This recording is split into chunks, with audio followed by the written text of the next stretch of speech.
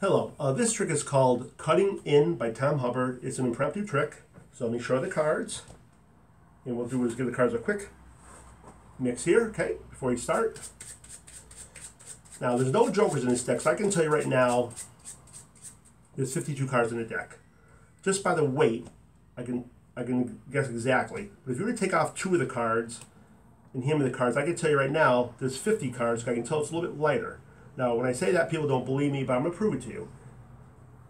So I turn my head, and I want you to cut off, say, about a quarter of the deck, more or less, doesn't matter, to, but leave me at least half the deck.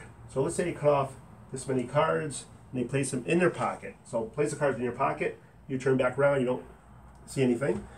So I can weigh the cards right now and tell you exactly how many cards you have in your pocket. But I like to make sure and double check. So I'm going to do it. I'm going to just take some cards and shuffle them right in packet, just like this here. I'm going to weigh these two packets.